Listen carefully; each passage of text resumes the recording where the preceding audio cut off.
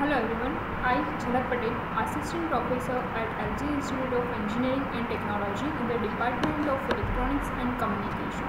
Welcomes you to the session of Power Electronics. Today I am going to discuss about NIC 2 that is Control Rectifier with topic Semi-converter for 3 phase. So let's start the session. In the earlier session, we have discussed about two examples of full converter. Now let's take one another example related to full converter. Consider this uh, problem statement. A three-phase full converter operates from 415 volt and 50 hertz supply if load current is of 50 ampere and load current can be continuous specify the voltage and current rating of the device for the circuit now first we uh, calculate for the average current rating. Here the rms voltage and frequency is given. So let's take the average current rating that is given by 1 upon 2 pi from 0 to 2 pi by 3 that is for full converter it is 120 degree that's why here 2 pi by 3 into i0 d omega t. Now if we put the values of i0 or we can integrate this then the remaining term is i0 by 3 because i0 there is no term of omega t present. That's why integration of 1 d omega t becomes only omega t. And if we apply it limit then it is the uh, then the answer of this integration is 2 pi by 3 then 2 pi and 2 pi will be cancelled out. So the remaining term will become i0 upon 3 for average current rating. Now if we put the value of it here the load current value i0 is given that is 50 ampere so 50 upon 3 so the answer is 16.67 ampere for average current rating. Now let's consider another term that is rms current rating. So rms is 1 upon 2 pi 0 to 2 pi by 3 i0 square d omega t because here the root mean square value should be taken out. So it is ia upon root 3 again we have to integrate the term and then we have to take the square root. So it is i0 upon root 3 again if we put the values over here then it is 28.86 ampere. So if it is asked that rms current rating then you have to find out this way. Now let's calculate the another term. That is peak current rating. Peak current means maximum current. Maximum current means i0 that is already given in the problem statement that is 50 ampere. So the answer for peak current rating is i0 is 50 ampere. Now if in a question that it, if it is asked that consider the safety factor of the circuit as 1.5 then you have to do this step. Otherwise it is not necessary. Here this step is not necessary because here in the problem statement it is not asked that uh, calculate this with peak current rating with its safety factor. So no need to multiply this with 1.5 if it is asked then you can do it right like this like peak current rating multiply with the safety factor. Whatever the safety factor is given either if it is 2 then you have to multiply 50 with 2 so it gives answer 100 here it is not asked so no need to do this step next peak forward and reverse voltage. So here due to bridge configuration of full converter as we discussed in the configuration that it is a type of bridge configuration. So due to bridge configuration here the answer or voltage will be root 2 times 415 why root 2 times? Because uh, in the question RMS voltage is given and if we want to convert it in the maximum voltage that is always the forward or reverse voltage is always up to maximum voltage. So we have to convert this into maximum voltage. So it is VRMS into root 2 that gives us VM that is nothing but 5.587 volt. So this is the answer. Now let's take one another case of full wave converter that is operation with purely resistive load we have uh, earlier discussed about the operation of full converter with uh, load inductive type of load. Now what will happen when the load is completely resistive so in this mode again like uh, half wave converter it depends on the value of alpha means value of firing angle is dependent on it. So depending on the value of firing angle it operates on two modes. Mode 1 is continuous conduction mode and mode 2 is discontinuous conduction mode. Now let's discuss one by one.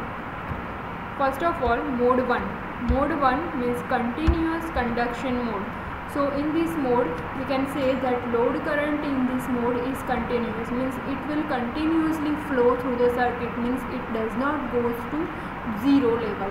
Or voltage if current is not go to the zero level then we can easily say that voltage for this particular mode cannot go to zero level. So in this case for firing angle this condition should be fulfilled that firing angle is less than 60 degree then and then only the mode is continuous conduction mode now for this each SCR conducts for a duration of 120 degree because this is a three phase circuit so for between phase there is a angle difference of 120 degree and the DC voltage is given by 3 Vm upon pi cos alpha for purely resistive circuit. Now depending on this equation we can easily draw the waveform that if we put the values cos less than 60 degree if we put any value less than 60 degree then this uh, this equation gives us answer in positive. Like if we put cos 30 then it is 1 by 2 cos 30 then it is root 3 by 2 and if we calculate this then it gives us a positive value. You can also take cos 40 or cos 50 but ultimately the answer is positive in this case. So the waveform will looks like this. This is a waveform for continuous mode. Now if you can see then from the alpha here this is a firing angle that is given less than 60 degree. Here for less than 60 degree consider that alpha firing angle is 30 degree so for 30 degree case uh, here we draw the waveform. So you can easily say that it does not goes to zero level means completely positive part is here. And at a time only one SCR will conduct or we can say that set of one SCR will conduct means here. If we if you note that in mode 1 or first interval SCR 1 and 5 will conduct and second 1 and 6 will convert so so we can say that SCR 1 is conducting with either SCR 5 or SCR 6 means from the lower portion of SCR that uh, if you remember the circuit diagram of full wave converter it is like for one SCR, first SCR, second SCR and third SCR in the upper portion, first, second and third SCR in the upper portion and on the down portion here the fourth, fifth and sixth SCR is connected. So because of this type of configuration of full wave converter we can say that at a time this SCR1 this is our first SCR so at a time this SCR1 will conducting with SCR5 or it is conducted with SCR6 so either it can be with 1 and 5 and 1 and 6 similarly if you take the second case then second is con uh, conduct conduction take place with this 4 2 with 4 or 2 with 6 so here you can note that second SCR is conducted with 6 SCR or 4th SCR same way this third SCR will conduct with either 4 or with fifth number of SCR so here you can note 3 and 4 and 3 and 5 so this is the case that how SCR is conducting in a continuous conduction mode. Similarly for a discontinuous mode also we can note down this. So now let's take one another case of discontinuous conduction mode. So in that discontinuous conduction mode, if you see the diagram then in that case the diagram is like this S3 and S5 will, will off, S1 and S5 will off but here you can say that the from the zero level if you see the diagram then it will be below the zero level means in the negative half cycle it will goes. So we can easily say that for mode 2 it is discontinuous mode means it will goes to 0 and then after some time it start conducting again goes to 0 then after some times it starts conducting. While in case of continuous mode it continuously uh, conducting and knows uh, and never reach to the zero level.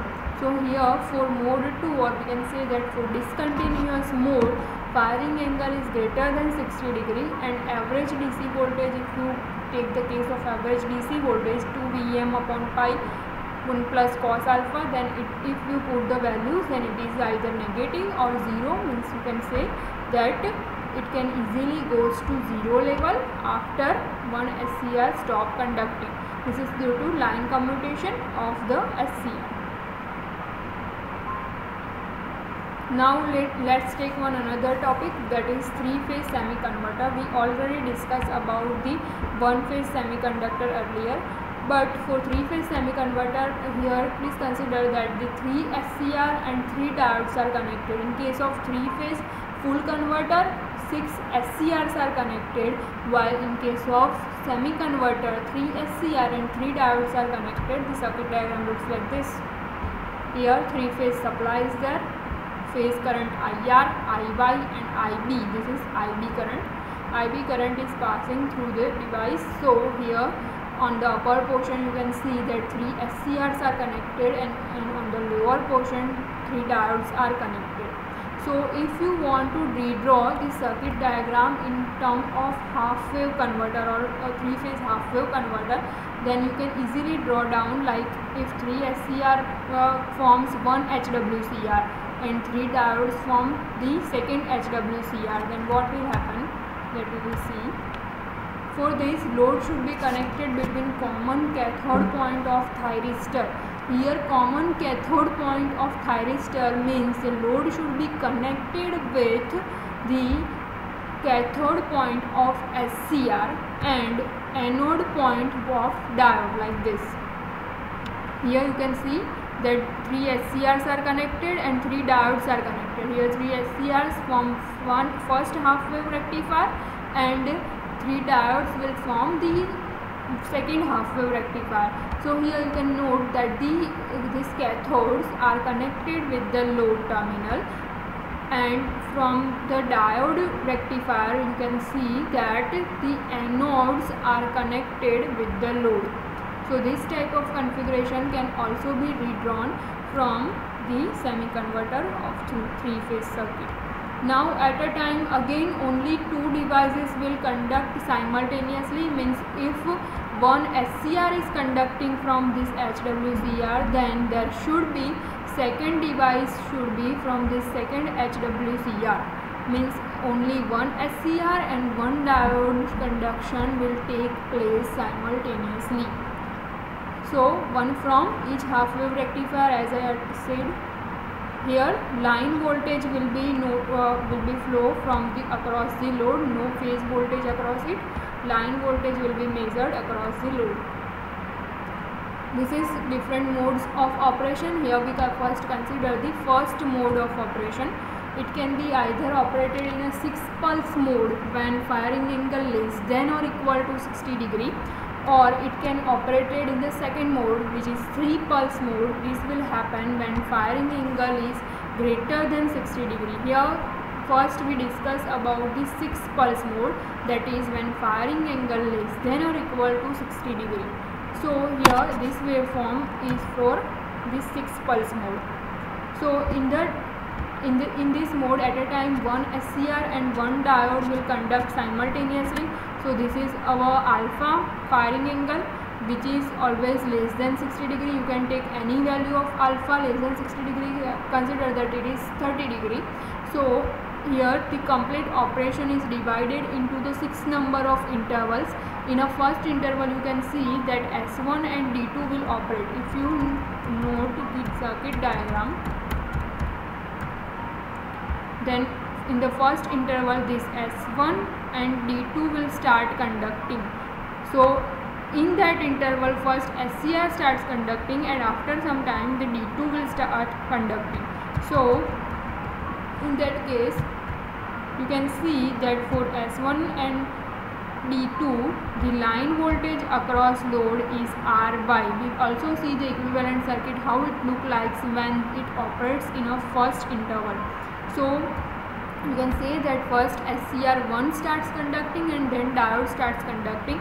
So in that case this is of a line voltage RY across mode 1. Now after some time interval the second S1 is start conducting with diode D3 if S1 start conducting with diode D3 then the line voltage that appear across the load is RB so the equivalent circuit will looks like this this is our first interval interval 1 in which S1 and D2 will operate and in, at that time voltage is VR by in the second you can see that S1 and D3 will start conducting and voltage is VRB. Same way you can also consider the third interval that is S2 and D3 will conducting and at a time voltage is V by 3. So you can see that this diagram VRY will start conducting. The voltage is also between R and Y. Voltage is between R and B. Voltage is between Y and B. And same way S2 then S2 will start conduct with D3 and S2 will start conduct with D1 same way S3 will start conduct with D1 and S3 will start conduct with D2 so this is how the 6 pulse mode will operate because here the complete operation is divided into 6 different pulse because first we consider only SCR as a fixed and then take one by one one diode. So this is 6 pulse mode. In the next session we will discuss about the 3 pulse mode and see some example related to 6 pulse mode so this is the diagram of equivalent circuit you can also draw the other diagram for other three interval interval 4 5 and 6 at a time you can uh, here connect for s3 and then here diode 1 and diode 2 so it is interval 5 and interval 6 up to this if you have any query you can whatsapp me on my number. Thank you for watching